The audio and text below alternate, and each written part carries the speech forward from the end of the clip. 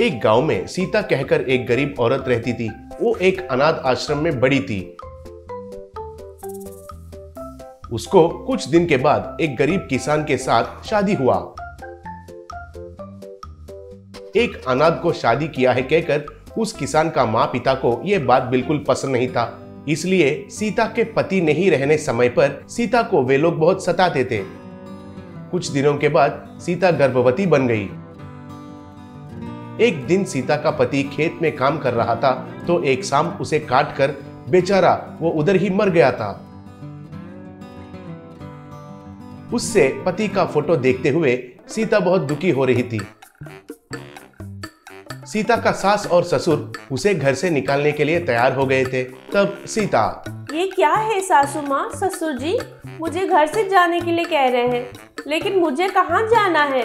मैं एक अनाथ हूँ। मुझे आपके अलावा और कोई नहीं है। और मैं पेट से हूँ। कहाँ जाऊँ और कहाँ जीऊँ? कहकर हाथ जोड़ने से भी उनका मन नहीं पिघला। तब सास हमारा बेटा ही मर गया है तो तुमसे हमारा कोई मतलब नहीं है।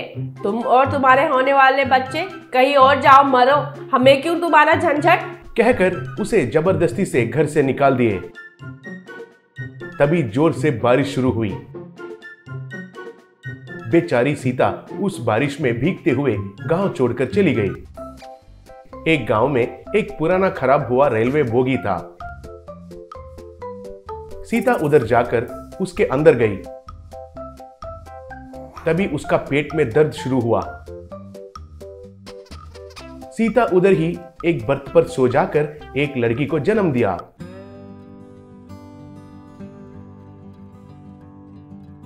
ऐसे ज़िंदगी गुजारने के लिए सीता उस रेलवे बोगी के आगे एक छोटा सा थैला लगाकर इडली डोसा तैयार करके बेचना शुरू किया। बगल में एक पेड़ पर झूला लगाकर उसमें बच्ची को सुलाकर काम करने लगी।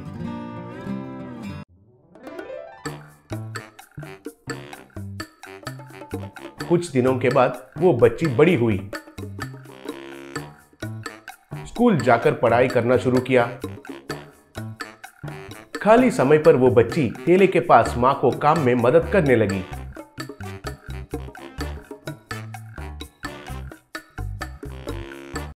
हर रोज उस भोगी के सामने ही वे खाना पकाकर खाकर अंदर जाकर सो जाते थे।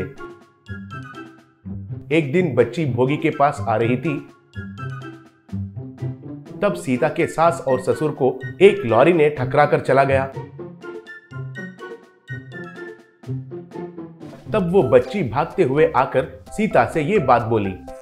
तब सीता भागते हुए जाकर देखी तो उनको पहचान कर तुरंत एक ऑटो को बुलाकर उधर रहने वाले के मदद से उनको ऑटो में चढ़ाकर अस्पताल लेकर गई। उधर डॉक्टर उन दोनों को इलाज किया। डॉक्टर, देखिए, इन दोनों को होश आने में और चार दिन लग सकता है। पैरों को और सर को बहुत चोट लगे हैं। वे कम होने तक इनको बिस्तर से नीचे नहीं उतरना चाहिए, कहा। ऐसे सीता उनको उस रेलवे भोगी में ले जाकर उधर सुलाकर उनका सेवा करने लगी। हर रोज उनको सीता और बेटी मिलकर जूस पिलाकर दवाई देकर अच्छे से देखभाल करने लगे। दो दिन के बाद उन दोनों को होश आया। वे दोनों सीता को पहचाने। तब सास बेटी तुम तुम सीता हो? ये तुम्हारी बच्ची है क्या? पूछी। तब सीता हाँ सासू माँ ये मेरी बेटी है। ये आपकी ही पोती है। बेटी ये तुम्हारी दादी माँ है और ये दादाजी है। बोली। तब बच्ची हेलो दादाजी हेलो दादी। बोली। तब वे दोनों बहुत खुश होकर बच्ची को पकड़कर चुम्मा दिए। तब सास। बेटी सीता हमें माफ़ करो। तुम गर्भवती हो कहकर सोचे बिना हमने तुमको घर से निकाल दिए थे। फिर भी वो सब तुम मन में रखे बिना हमारे इतना ख्याल रखी हो। तुम्हारा ये एहसान इस जन्म में नहीं भूल सकेंगे। बोली तब ससुर जी बेटी सीता हमने जो गलती किया उसके लिए हमें माफ़ करके हमारे साथ आ जाओ कहा। तब सीता। मुझे माफ़ कीजिए।